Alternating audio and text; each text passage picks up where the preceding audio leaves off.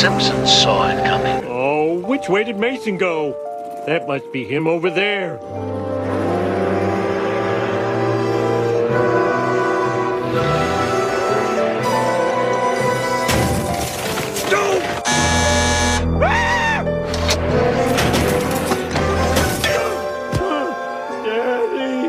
The search in the Atlantic Ocean in the same area that the Titanic sunk 111 years ago.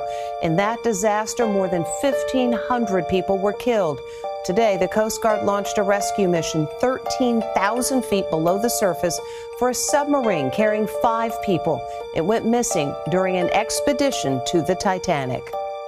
A submarine carrying tourists to see the wreckage of the Titanic has gone missing. The clock is ticking if there is any hope of finding the Titanic submersible. Uh, this particular submersible is advertised to have uh, 96 hours of uh, survival time. Stockton Rush, I'm the CEO and founder of OceanGate. Let's take a look at Titan.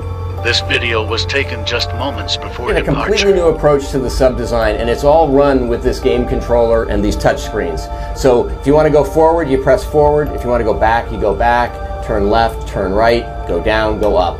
And it's Bluetooth, so I can hand it to anybody. And it's meant for a 16 year old to throw it around and super durable. We keep a couple of spares on